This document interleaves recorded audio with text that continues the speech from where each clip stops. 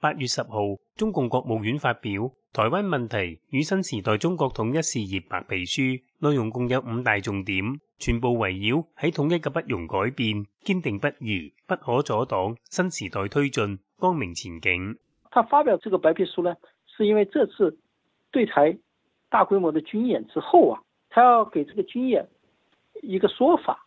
他要通過這個軍演把對台政策提升到一個新的高度。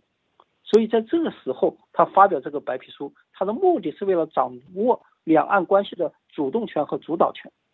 中共當局喺一九九三年同二千年分別提出過台灣問題白皮書，曾經承諾統一台灣實行高度自治，中央政府唔派軍隊同行政人員駐台。但最新白皮書已經刪除呢段承諾。在這份白皮書裏面呢，習近平他修改了鄧小平時期對兩岸統一以後的一些承諾。他刪除掉了說台灣允許保留軍隊和中央不派駐人員的這個條款，同時呢，還刪除掉了一個中國前提之下什麼都可以談的這樣一個承諾。那麼這個是顯示中共再次的食言而肥，現在是想要使用單方面用武力來改變現狀的這麼一種這個思路了。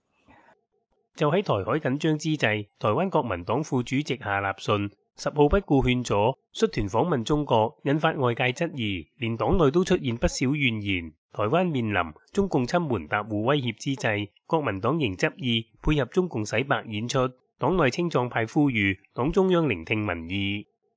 中共現在這種軟硬兼施的目的呢，他是想要通過極限施壓來促成台灣內部發生分化，這樣的話，它可以製造台灣內部的混亂，有利於瓦解台灣人的抵抗意志。這個白皮书的发布呢，它配合了国民党的副主席访问大陆，目的呢，它也是要营造一种很多台湾人都喜迎统一的这样一种假象。那么，这个也是中共对台湾实施信息战和心理战的一种表现。旅美時事評論員唐靖遠表示，習近平當局公布呢份白皮書嘅目的係想要借此向全世界表明，中共使用武力手段侵佔台灣係具有合法性。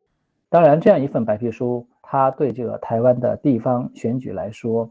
他不會例外的，他會再度成為打擊國民黨的選情、助力民進黨的一個助攻。這個是中共毫不掩飾的干涉台灣大選、干涉台灣內政的一種行為，他只會激發台灣民眾的一種厭惡和逆反的情緒。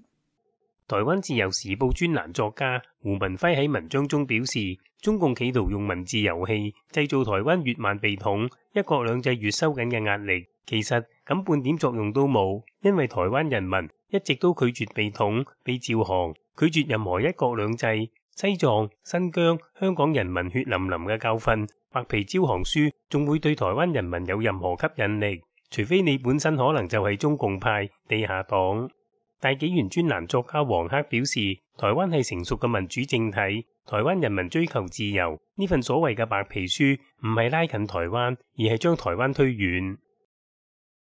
他这个白皮书其实就是一些废话连篇，在国际上不会产生什么效果的，因为中共的所作所为，特别是这次军演，使中共这个邪恶本质，是国际社会看得更清楚了。那么，连东盟这种国家历来是不说话的，这次都联合发表外交声明，对此表示关切，就表示了中共自绝于世界，他的这个战狼外交把全世界人都推向他的对立面，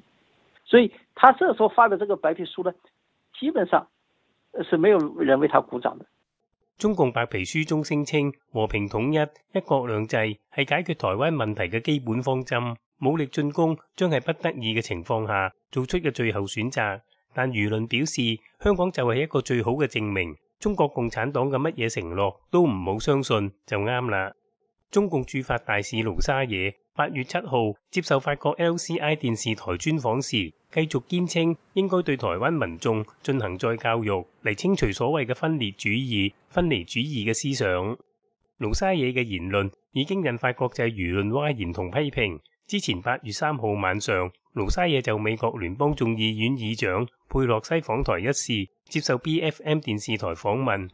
佢當時聲稱，台灣當局對民眾開展去中國化教育，造成台灣人支持台獨比例上升。統一後，我哋要進行一次再教育。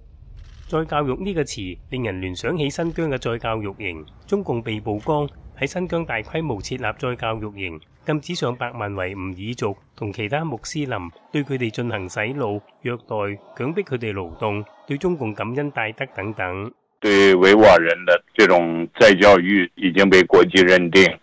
是一种种族滅絕。陸沙野所讲的再教育，就是把百分之六十以上的台湾人关到集中营里头，把他们重新脑子清理干净，然后再装上共产主义的这种。那么有一些人拒绝把这个装进去呢，那就要把他们进行啊、呃、處理，就像对维吾尔人一样。就跟他拿下香港之后，他要再教育香港的人民嘛。但是香港人那些民營人士很多，那些走上街头的，是没法教育的嘛，对不对？所以一定要关起来一部分嘛，一定要杀掉一部分嘛。所以这个他已经把中国的恐怖统治啊说得很清楚。中共對台灣亦提出咗所謂嘅一國兩制方案，聲稱未來中國統一後，台灣自治政府將享有比香港同澳門更大嘅自主權，甚至可以擁有軍隊。而盧沙野公開稱要對台灣人進行洗腦轉化，被視為講漏嘴。我們台灣其實是一個言論自由的地方，人民自己會有一個選擇。當然，大部分人都不會選擇中共這個制度嘛。你要去控制人家的思想，人家不服从你，你要改造人家，这是一个很丢人的事情嘛。所以中共只做不说，只是这一個大嘴巴，他把它說出來了。身為中共駐法大使，盧沙野一再堅持要再教育台灣人，亦令歐洲國家震驚。歐洲議會安全與國防小組委員會主席諾亞索喺推特上寫道：佢講將不顧台灣人民意願，強行統一。並進行再教育，呢個真係令人憤慨。比利時前總理維霍夫斯达表示，獨裁政權不能接受，甚至不能想象人民想生活喺自由之中。佢哋想要再教育，言下之意就係壓迫同洗腦，千萬小心。台灣、烏克蘭、歐洲、歐洲让法國人哇，突然感覺到你做你你已經明目张胆的啊，在承认。啊，再再教育，在有这么一回事，在中国的，那么在民主社会的这个国家是几乎无法接受的啊。这个并不仅仅是一个，呃，陆沙野的，呃，拍个脑袋一时兴起想出来的东西，这是和中共的这种邪恶呢是有着本质的必然的联系，肯定是让台湾人非常警惕。那他们会更加珍惜他们得之不易的这种自由、民主、保护自己文化的这种可能。卢沙野喺任职中共驻法大使期间，多次闹出有争议嘅外交事件，例如二零二一年，卢沙野写信俾法国参议院有台湾小组主席李察。